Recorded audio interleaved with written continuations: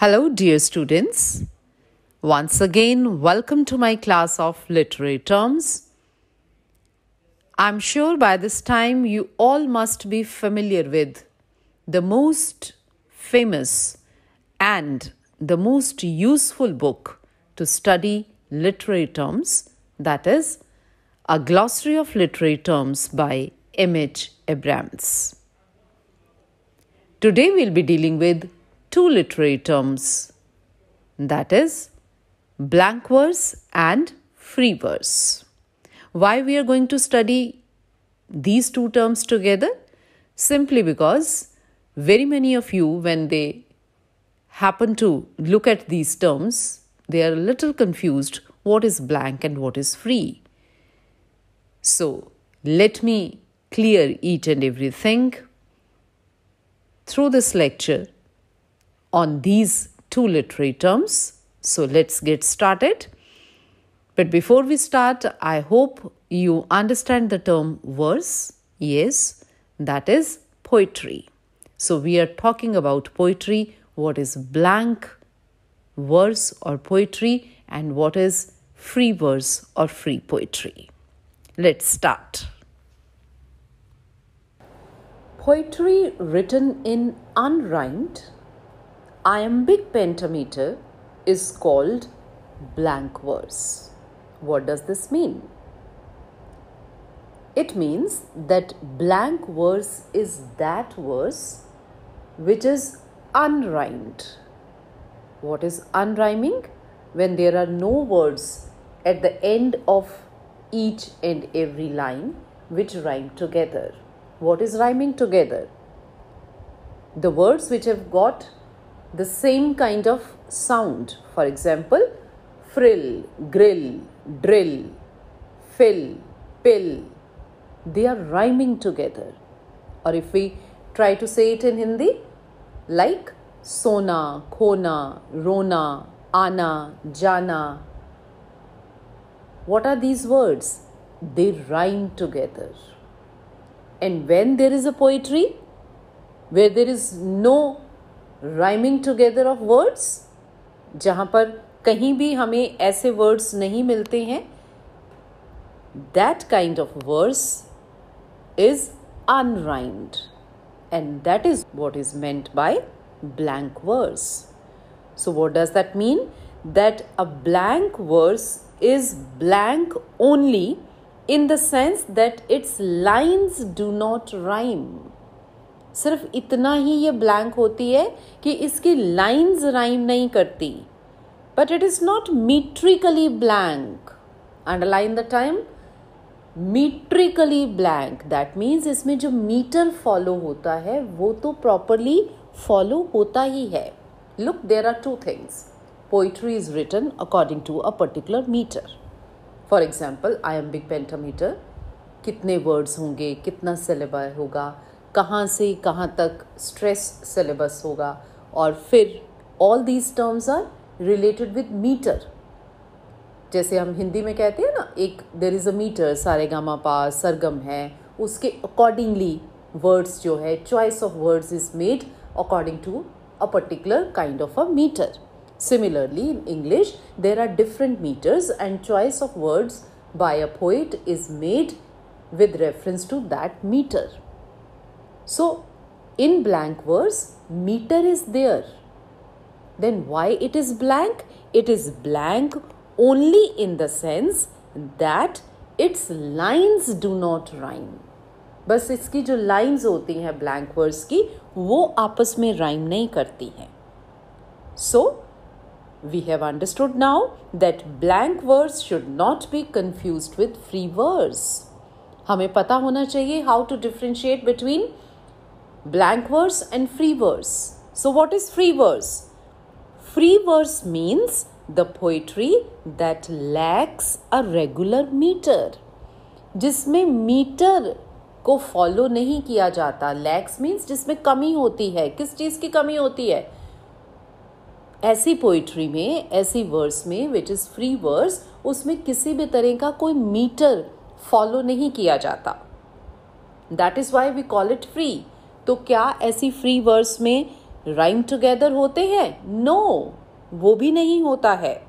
That means in free verse it does not rhyme and it uses irregular and sometimes very short line lengths for example अगर five words की एक line है तो सारी word lines जो हैं वो फाइव की हैं। या एक पर्टिकुलर मीटर फॉलो किया जाता है। बट फ्री वर्ड्स में इट इज़ फ्री ना तो ये राइम इस करती है दैट मीन्स इसके वर्ड्स जो हैं, ना तो लास्ट वाले वर्ड्स आपस में राइम करते हैं और ना ही इनकी जो लेंथ्स होती हैं लाइन की, वो बराबर होती है। In other words we can say that free words does not rhyme and it uses irregular what is regular जब एक जैसा होता है। इरेगुलर जब एक जैसा नहीं होता राइट right? तो it uses irregular and sometimes very short line lengths That means the writers of free verse disregard traditional poetic conventions of rhyme and meter. जो ट्रेडिशनल पोइट्री होती थी, वो दो तरह की चीज़ों को फॉलो करती थी। किस चीज़ को फॉलो करती थी? नंबर वन उनमें राइमिंग होती थी एंड नंबर टू मीटर को फॉलो किया जाता था। बट ब्लैंक वर्स क्या करती है? ब्लैंक वर्स राइम स्कीम को नहीं फॉलो करती, बट मीटर को फॉलो करती है, इसलिए वो ब्लैंक है। और फ्री वर्स दोनों चीज़ों को फॉलो नहीं करती। What are those conventions conventions means traditions what are those traditions traditions of conventions of rhyme and meter right so this is the difference between free verse and blank verse in other words we can say that the writers of free verse exploit other effects like parallelism, repetition, and stresses of everyday discourse. What is discourse? Speech. When there are no rhyme schemes to be followed, rhyme scheme नहीं follow होती metre नहीं follow होता तो हमारे दिमाग में आता है कि ऐसी पोइट्री अच्छी क्या लगती होगी क्या उसमें होता है जो हमें लगता है कि हमें इसे सुनना चाहिए या पढ़ना चाहिए? तो राइटर्स जो हैं, फिर क्या यूज़ करते हैं? अगर राइमिंग वर्ड्स नहीं यूज़ करते, अगर मीटर नहीं फॉलो करते तो फिर वो किस चीज़ का, को फॉलो करते हैं, जिससे कि कोई इफ़ेक्टिव लगती है वो पोइट्री तो वो चीज़ें क्या है? They use parallelism and they use repetition बार बार एक वर्ड को रिपीट करके, उस पर स्ट्रेस दे करके सेलेबाई जो होते हैं, उनको स्ट्रेस्ड सेलेबाई यूज़ करके then they make use of such kind of things so that the poetry becomes effective. But they do not follow two things. What are those two conventions? The convention of rhyme and meter. In English, notable use of free verse dates back to the King James translation. Now we have to understand कि ये काम कब से शुरू हुआ ये this kind of free verse जो है वो कब से शुरू हुई बहुत देर पहले से शुरू हो गई राइट दे से कि dates back to the King James translation which was done very early but ये पॉपुलर नहीं हुआ ये इस तरह की फ्री वर्स कब तक पॉपुलर नहीं हुआ it was not really recognized as an important new form until Walt Whitman's Leaves of Grass. What is Leaves of Grass? It's the title of a collection of poems by Walt Whitman. Who is Walt Whitman? Walt Whitman is a modern poet. ठीक है सबसे ज़्यादा free verse को किसने famous किया जब Walt Whitman ने एक कलेक्शन ऑफ़ पोइम्स लिखी, जिसका टाइटल क्या था लीव्स ऑफ़ ग्रास इसको आप भी पढ़ने की कोशिश कीजिएगा very interesting very nice poems आपको आगे सिलेबस में पढ़ाई भी जाएँगी तो ये जो लीव्स ऑफ़ ग्रास टाइटल के साथ उसकी कलेक्शन ऑफ़ पोइम्स थी वॉल्ट विटमैन की। उसमें उसने बहुत अच्छे से यूज़ किया किसका? फ्री वर्ड्स का। दैट मीन्स उसने ना तो कोई ऐसे वर्ड्स यूज़ किए जो राइम टुगेदर करते थे और ना ही उसने किसी तरह के मीटर को फॉलो किया। आम बोलचाल की भाषा में या किसी भी तरह के डेली यूज़ के जो डिस्कोर्सेज होते हैं, उस तरह की लैंग्वेज में उसने इस पोइम पोइट्री को लिखा। Later on, this kind of poetry became very, very popular. Since World War I, non rhyming forms of verse have been used by most poets like T.S. Eliot, Ezra Pound, and numberless other poets. Why? Because it is easier to write in such kind of verse. Now let's have a example of both kinds of verse that is blank verse and free verse These famous lines from Christopher Marlowe's Dr. Faustus exemplify the qualities of blank verse. कि blank verse कैसी होती है ये हमें in line से पता चलेगा let's read this lines together was this the shape that launched a thousand ships and burned the topless towers of Ilium sweet Helen make me immortal with a kiss. Now, in these lines, there are no words which rhyme together. But these lines are written in iambic pentameter. A particular kind of meter is followed, but the convention of rhyme is not followed. That is why we call it blank verse. And in this way, we find that blank verse is uniquely suitable for poetic drama. इस तरह की words जो है, वो poetic drama में बहुत अच्छी लगती है। क्यों? एंड अदर लॉन्ग नैरेटिव और reflective poems because of its closeness to natural speech of rhythms underline the term हमें ये this kind of blank words अच्छी लगती है। सुनने में भी, पढ़ने में भी, बोलने में भी क्यों अच्छी लगती है? Because this kind of blank verse is close to natural speech of rhythms जब हम बोलते हैं डायलॉग्स बोलते हैं या कुछ भी कहते हैं तो एक नेचुरल uh, स्पीच होती है हमारी।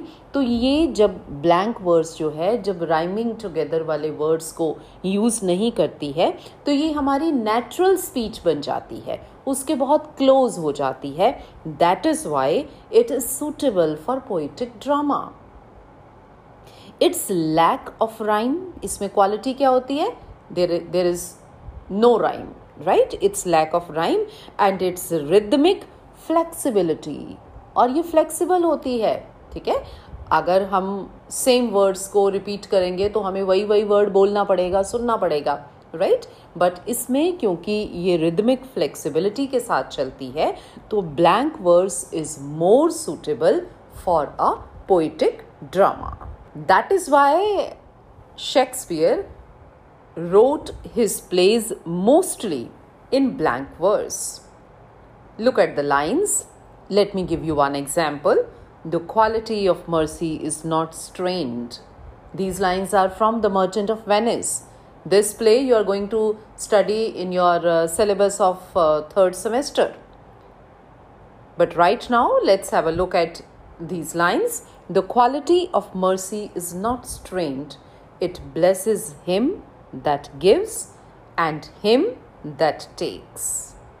So there are no convention of rhyme being followed, but the convention of meter is being followed. So this is the best example of blank verse. We understand that free verse is very popular these days. Do you know why? Especially with those who are dabbling in poetry for the first time. Even you people can do this. The person who is going to write poetry for the first time, there are new po- poets who are coming up और उनको ये free verse बहुत अच्छी लगती है Y because ना तो rhyme scheme को फॉलो करना है और ना ही इसमें इन्होंने किसी मीटर को फॉलो करना है। तो इस तरह से फ्री वर्स जो है, वो मोर पॉपुलर है than blank verse because blank में हमें एक चीज़ को तो फॉलो करना पड़ता है ना मीटर को देख के लिखना पड़ता है। तो इसमें फ्री वर्स में जो मॉडर्न पोइट्स हैं, उनको बहुत इजी लगता है, जो भी पहली पहली बार लिखना की कोशिश करता है पोइट्री उसको बहुत ईजी लगता है बिकॉज़ जो भी उसकी फीलिंग्स है, उनको बहुत अच्छे से एक्सप्रेशन दिया जा सकता है in free verse right but blank verse is poetry written in unrhymed iambic pentameter. It is not very popular because इसमें मीटर को तो फॉलो करना ही पड़ेगा so what we have learn till now अभी तक हमने क्या सीखा? That blank verse is poetry written in unrhymed iambic pentameter and free verse is free of the regular beat of meter. वो फ्री होती है मीटर की तरफ़ से। It usually lacks rhyme and often has irregular line lengths ना तो इसकी length same होती है और ना ही इसका मीटर सेम होता है, कोई फॉलो नहीं किया जाता और ना ही इसमें कोई राइम स्कीम फॉलो होती है।